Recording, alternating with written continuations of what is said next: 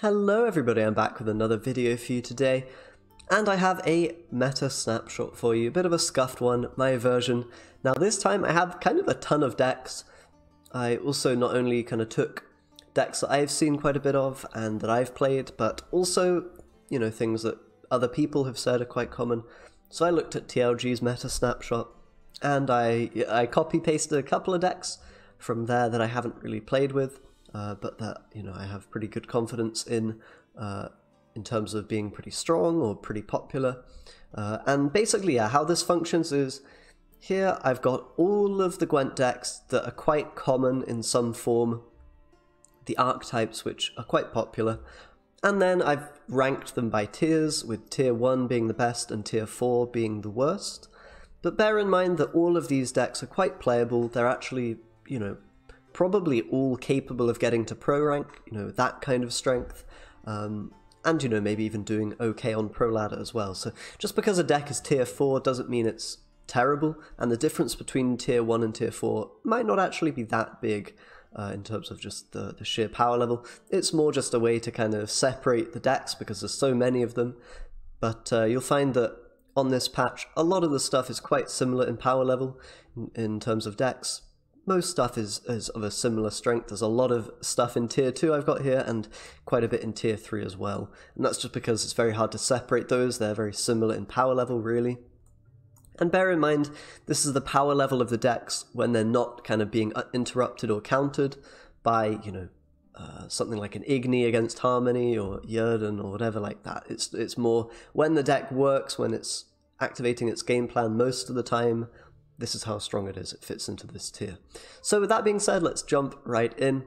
Now, some people will probably say Nilfgaard is tier 1. I would say that I don't think it is. I think Scoia'tael is a level above Nilfgaard in terms of what they can do, and that's both with Harmony and with Elves. So I have both a Harmony deck and sort of a an elf uh, elf-ish Harmony deck, uh, which is kind of a hybrid thing, which is quite popular on the ladder at the moment. Uh, and yeah, both of these decks are very, very strong, very good at what they do. Of course, Harmony still kicking after you know many, many patches. Uh, this version here of, of kind of Harmony Elves, if you want to call it that, has a bit of Harmony, has a bit of Elves. So it does have long round potential, but also burst potential with that those Elves flowing onto the board. You're not super committed to the Elf game plan. You don't run Isengrim. Uh, you do run Aelirin though, and of course, uh, you know Yaevinn, uh, the Ele'yas and Vernossiel, etc. So you have a bit of burst, a bit of long round, a bit of poison, just a good deck able to control very well, uh, and you know have a lot of threats, a lot of win conditions. And you know, of course, Harmony, we've seen a lot of at this point. Still running Waters, a lot of them run Pavko these days, which is kind of a, a pretty solid human, you know, two points per turn, another threatening engine, really has to be dealt with, another movable target, so you don't care as much because you already have Hawker, and you maybe can play a Dragoon to maybe move him back if he does get moved. But yeah, that's the only really notey, no, uh, noteworthy thing here. Uh, other than that, it's just a regular Harmony list. Very, very good at pushing long rounds and pushing the opponent with Waters in round 2 as well can be very, very strong, or even without Waters and saving those for a round 3 finisher. But yeah, very powerful deck, as I'm sure you guys are aware.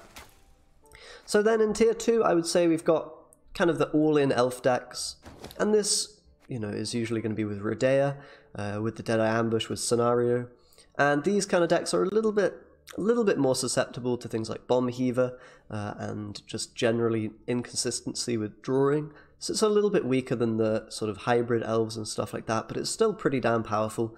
You still have all of the strength of those, you know, uh, elf cards and oak and all that good stuff that Scoia'tael has. And you know, playing the uh, the Rodea does mean your bronzes are a bit weaker, but overall this deck's still very very good. Still a tier two, still can contend with a lot of stuff. And we also have Nilfgaard. We have a lot of different formulations of Nilfgaard. I think that are tier two worthy. The first here is the Imperial Formation Ball deck, which does run one Ball and a lot of soldiers as well in the bronzes, as well as this version's got Triss and Lacerate, uh, just to kind of deal with elves and deal with wide boards quite effectively. Yeah, you can play uh, other, you know, other cards here, maybe a uh, uh aristocrat, you know, for example, the Vincent is, is an okay option sometimes uh, instead of Triss, and you can you can swap out Lacerate as well if you want. But those are pretty nice for dealing with wide boards. And that's Nilfgaard's usual problem if you're playing Ball, you don't really have wide, you know, punish. So putting the Lacerate in there helps quite a bit. And okay, next up, what do we have? We've got Syndicate decks. I'll show you some other versions of Nilfgaard in a second, but we do have some Syndicate decks. Here we've got a Jackpot deck, which I was playing. Actually, I optimized it a little bit more than the version I was playing. Pickpocket, very, very helpful to get your coins up. Imke and Passiflora to do that. And yeah, Jackpot's a very decent leader. I'd say it's about as, as powerful as Blood Money, although a lot of people favor Blood Money. Uh, just, you know, it's better against decks where you don't need that removal option. Obviously, it's weaker against decks where you do. So you're thinking like Great Swords, Harmony. It's going to be a bit weaker against those things, but against everything else, it's it's quite a bit better. Having the jackpot enables you to go for a soul straight away. Uh, and yeah, I don't see too much jackpot around, so this is kind of my my spice that I'm throwing into the snapshot, but yeah, it's not super popular. But Jackpot's a good option for Syndicate. Likewise, Blood Money. Blood Money is definitely the more popular alternative, and Blood Money is very strong. You have the removal, and you know, this is just the same deck from a few patches ago, of course. Madame Luiza is a bit weaker now, but overall it's a you know, pretty strong deck still. Can definitely hold its own in a lot of matchups. Gonna struggle a little bit against elves if you don't run Tin Boy, so you know, think about uh, putting that guy in and uh, swapping around uh, some of the top end here potentially if you have trouble against you know elves and those wide boards, Tin Boy can definitely help you deal with those. Okay, and next up we've got some Skellige. Skellige here, I've put Great Swords in tier 2 because I think they're a very good deck, especially against the kind of top tier, uh, you know, factions at the moment, so the Scoia'taels. Scoia'tael has typically quite a bit of difficulty dealing with uh, Great Swords. They do have movement, which helps, but uh, you know quite often they're going wide with either waters uh, or you know elves, and both of those things play quite heavily into wild boar and greatswords. Plus, it can be difficult, you know, if you're running a, a, typical kind of harmony deck to have enough poison to kill a lot of great swords. So, yeah, generally I'd say second wind, you know, this um, this kind of great sword deck is a bit favored against Scoia'tael decks, which means it's probably a tier two deck. It's just pretty good against the best uh, decks at the moment. It probably struggles a bit against Nilfgaard and stuff, but you have so many threats in Great Swords that, you know, you're never really too worried about a few of your guys getting removed, and that's kind of where the power comes from. But yeah, Greatswords is definitely a strong deck. For Skellige, a bit difficult to pilot, but yeah, pretty powerful. So another tier 2 Nilfgaard deck here, in my opinion, is uh, the kind of formation relying on Stefan and tactics. So instead of that Masquerade Ball, you've got the Helga, the Stefan, the Letho, and that can get some real nice value in certain matchups. Going to be a little bit better than a ball kind of deck against, uh, you know, wide boards again, elves, um, and, and stuff like that, just because having the soldiers and going all in on the soldiers and on the tactics, yeah, it's just better in general against Scoia'tael, Bribery, Oak, stuff like that. So yeah, I'd say that's a bit better overall against against Scoia'tael, uh, particularly elves. But of course, having a bit less tool removal. In fact, this deck could definitely do with some tool removal. So if you, uh, you know, think about adding that in with either poisons in the bronze core or uh, you know Yennefer's Invocation, things like that. Definitely, you know, could be useful here uh, since the deck doesn't currently have any. So you know, and with all these decks, they're just kind of a baseline. You know, they might not be perfect. So keep that in mind, and and of course tweak them and change them as you see fit. And then next up we have Northern Realms. Uprising got pretty pretty heavily nerfed actually on the last patch with the one less charge for the ability. So this is a Draug deck, pretty much unchanged from last patch, but mm, you know, still a bit uh, a bit weaker for sure. Uh, but still a pretty good deck. Like you've got that power. Of course, the Draug being bleedable is quite a big downside. So this deck at higher ranks is going to be a bit more questionable. But with Northern Realms, you often uh, can make life a bit weird for the opponent when they don't know if you have Draug or not. Maybe it's not uh, you know fully worth it for them to push you, or maybe they uh, kind of give it up because they're not 100% sure if you have it, and you're running Philippa and stuff, which could indicate that you don't necessarily have Draug. So you know, in theory, this deck is, is still pretty good. There are other vari variations of Northern Realms that I'll show you, though, in just a second, which I think are also okay. We've got Mobilization, we've got Uprising mid-range, so I can show you both. I'll show Mobilization first.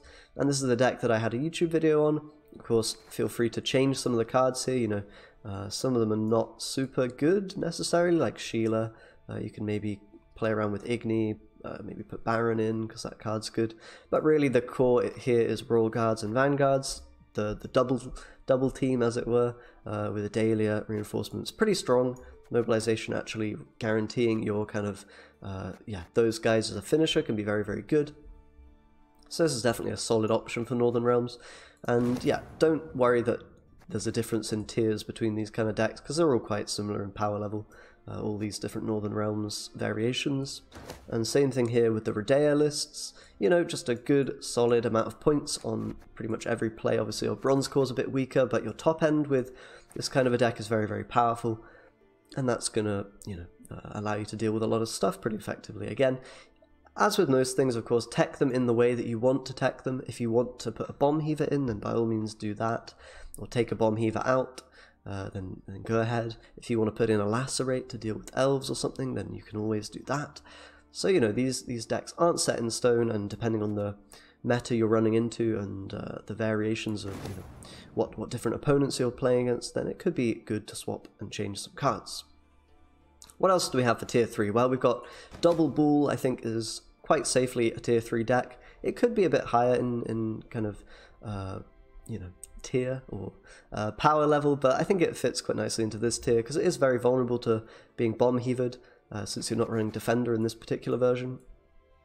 So if the opponent has a bomb heaver, it's going to be very telegraphed that you're going to be playing a scenario, and they're probably going to get bomb heaver value. The one upside is your decision, tactical decision, can often activate ball straight away and deny bomb heaver value if they save it for round three. So you know, the deck is pretty strong. Uh, it's kind of similar to something like Lippy or even Monsters in terms of being able to abuse the coin flip and punish certain matchups and certain players that don't have Bomb Heaver or the text to deal with you. So that's kind of where Double Ball fits in. It's a good deck, but it has some weaknesses which, which hold it back from being kind of super top tier. And a similar story with the other tier 3 decks that I have here, really. Um, we do have another Skellige deck, which is kind of uh, uh, you know, uh, Wild Boar hybrid, which I've never been a huge fan of as a deck. It has, you know, definitely some good tools and ways that can can work. You know, you've got the short round with the Gedyneith, you've got the long round with Wild Boar, but Skellige is very very bleedable, and this deck is no exception. The one upside is you're able to often control round one with Wild Boar and, and you know win the round that way and get control of the game. But if you find yourself being pushed, it can be very awkward sometimes, having not set up your graveyard uh, for that second wind Gedyneith play and stuff like that. So I'm not the biggest fan of it, and I don't think it's super strong, but it is definitely a deck worth considering. Now, same story with Lippy. Lippy is kind of a coin flip abuse deck more more than anything really at the moment. Uh, of course, you have all this tempo in Roach and Knickers and stuff that will come out if you do win the coin flip. It's very, very good because the opponent's going to probably lose on even cards, and then you can push and bleed uh, and get Cerys out in round three, short round. Uh, a little bit weaker on blue coin because you end up you're going to end up overcommitting to round one most of the time, and that will mean that the opponent can kind of just defend your bleed very well in round two and uh, end up maybe taking a card off of you or holding on to their good stuff for round three as well. So very much a coin flip abuse deck, very good when it works, kind of not so good at all when it when it doesn't. So it probably fits into tier three here. Definitely got some weaknesses, but it's a strong deck. Same sort of story with monsters. Monsters and vampires here is the version I've got for Blood Scent. Pretty, so uh, pretty solid deck, realistically. Uh, a lot of points, but definitely a downside in that, you know, uh, if they have removal for lava, if they have a lot of tool removal in their deck, then you're going to get punished. Also, can sometimes be a bit awkward to get value from Oriana and things, you know, in some cases where maybe they don't have a big board built up, uh, or you know you're in a short round three of some kind and bleeding can be hard to get value from. Just overall, not the best deck ever, but you know pretty pretty decent. Doesn't have as many weaknesses and pitfalls as something like Lippy with the inconsistency. It's more uh, versatile in that sense, but the overall power level of monsters is probably a bit lower than that of something like a double Cerys. And then we're down to the tier 4 decks, and you might be surprised to see Congregate here, but I don't rate Congregate as a leader and as an archetype very seriously. I think it's kind of not very good.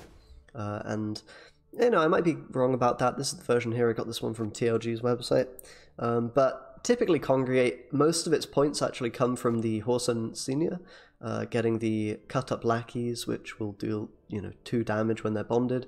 And I think typically if you have a bit of removal, you can deal with a couple of those guys then you're pretty much often going to be favored against this deck because it just simply doesn't have as many points as something like a regular Syndicate or a Scoia'tael deck or even Nilfgaard, etc. Doesn't really have the points uh, behind it. Uh, it's a cool gimmick, and yeah, uh, a lot of people play it, so that's why it's here, but I don't think it's the strongest. Although, you know, a lot of people have success with it, that might just be due to opponents not properly dealing with it. Uh, and I mean, it does have a lot of points in certain situations, and you know, very specific push scenarios where you push the opponent. It can be quite deadly, uh, but I think overall it's just a deck that's very easy to overcommit to rounds two with, uh, and you know, also lacking power if the opponent has answers. So yeah, that's my take on Congregate, but it's, it's an alright list, don't get me wrong, you can definitely win games with it, you can almost certainly get to pro rank with it, and same story with Kikimore Queens still. This deck's still pretty much unchanged from last patch. I mean, it's very good still in terms of uh, if you want that gimmick approach of just having a bunch of points, uh, not really interacting with the opponent, just doing your own thing, uh, then if you can pilot this very well, then it has potential to be quite strong. I think it's never going to be you know a high tier deck just because it's very vulnerable and doesn't have responses to the opponent's stuff but you know it's it's not bad. You have a lot of points. You can do pretty well with this deck, and it has some good matchups. Also has some very bad ones, like Great Swords are horrible. Poisons are a bit annoying to deal with, realistically. Uh, but, you know, against Scoia'tael and stuff, you definitely have a decent matchup. So, again, not the best deck ever, but it, it's a consideration if you want to play something different to vampires, if you want to play something somewhat competitive with monsters, but you know, definitely not the best and a bit vulnerable to certain things. So that'll do me uh, here, guys.